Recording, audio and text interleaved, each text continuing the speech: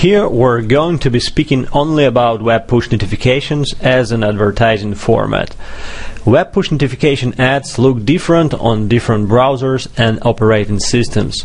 Here are the browsers that support web push ads.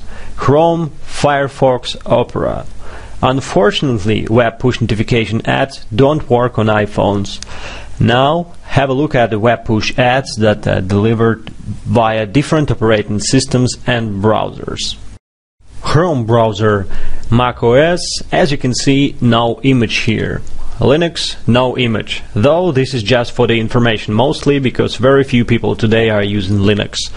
Android Mobile, probably the biggest platform in terms of traffic volumes, and it looks great. A big shiny image that is designed to bring conversions to advertisers. Uh, Windows and what's interesting, different versions of this operating system are slightly different in a way how web push ads look like.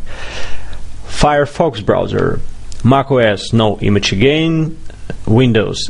All versions are the same on Firefox with no big image. Linux, no image again. Android mobile also no image, so Firefox doesn't allow to send images. Opera, macOS standard no image story. Windows surprisingly no image if you are using Opera browser on a PC. Linux Personally, this caught my attention because Opera is the only one browser that show images to Linux users. Though the fact that there is nobody to target on Linux is just a fun fact. Okay, uh, enough with tech details and let's discover why this ad format is getting more and more popular with affiliate affiliates and media buyers.